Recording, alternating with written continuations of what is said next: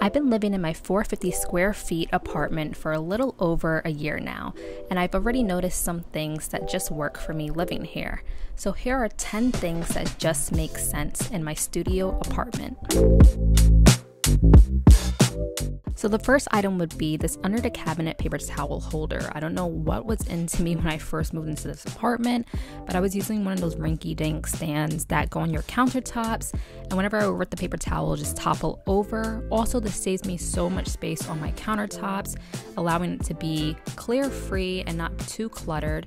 This one I actually got from Amazon, which is this nice brushed gold one that is actually an adhesive one. They do have some that you can drill to under your cabinets, but because I do live in an apartment, apartment, I feel like this was the safest option and it works really well.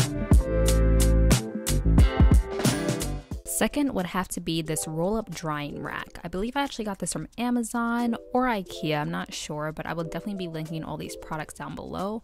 But this is also great at saving space on your countertops, especially in a studio apartment, because you can just roll it right out when you're washing your dishes. As I do have a dishwasher, sometimes certain items like these pans I do need to wash by hand, as well as these ice cube trays.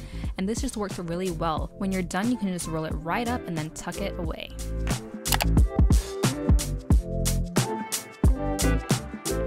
Next are these suction hooks from IKEA. I love these hooks so much because, once again, they are damage free if you are living in an apartment like I am, and you can hang so many things on this. I have one in my kitchen, which I literally use for my hand mittens and my pot holders, which works really well because I can just grab it and go when I need it.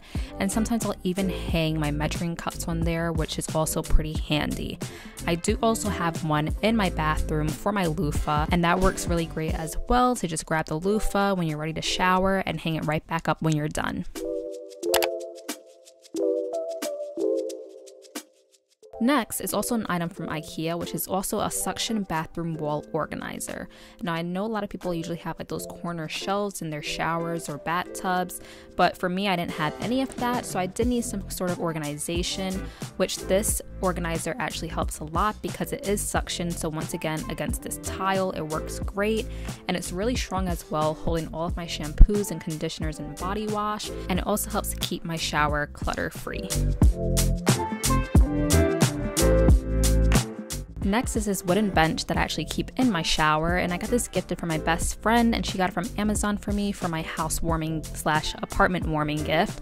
And I just like having this for my everyday items, like my body scrubs that I'm always reaching for. Also, if you're a girl like me that has a shower and not a bathtub, it's kind of hard to shave because you don't really have that ledge like a bathtub to put your leg on. So this bench actually helps in that scenario, but I also just like the way that it looks. Next, in my living room area would have to be this cube bench organizer. Now, I love this organizer because you can have it on the floor horizontal like I do or vertical like I used to have, but I kind of keep it this way because you can also use this as a bench for more seating in your apartment and also as a storage organizer. So as you can see, I have some bins and baskets. Some of them are very messy and no, they do not match. I do need to get some matching ones, but they do just help me put some of my clutter away as well as being able to decorate this to make it look more aesthetically pleasing. Next is the C-shaped side table. Now I love this side table because it is very small, especially for my small space. And because it's a C shape, you do have that underneath open area that you can actually use as storage as well. So I just have like a basket and some vinyls under there and it's very slim and fits perfectly in this spot. I think it just works really well. They come in all different colors. I have a black one, which is actually from Amazon, but you can get some that are like a wood detail. I think they even have like an acrylic glass type, which I would really have loved to get. But I do just love how it works in this space, allowing it not to be too bulky in my living room. Next would have to be the storage ottoman that I got from Target, which is specifically the Threshold brand. And I keep anything and everything in this ottoman.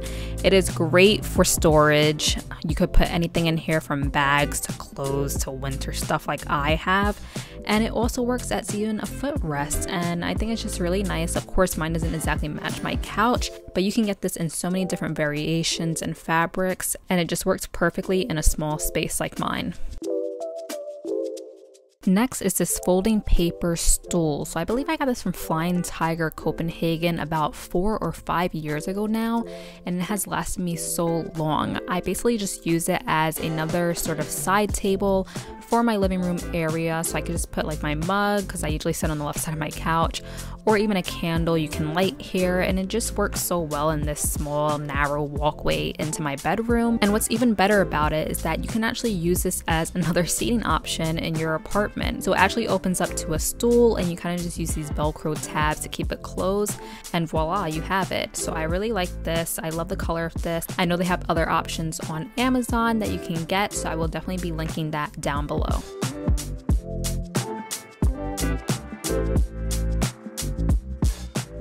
And last but definitely not least is this slim target lamp. So I actually have two of these next to my TV and this is from the Project 62 brand and it basically just has this like little foot push button on the bottom so you can easily just turn it on.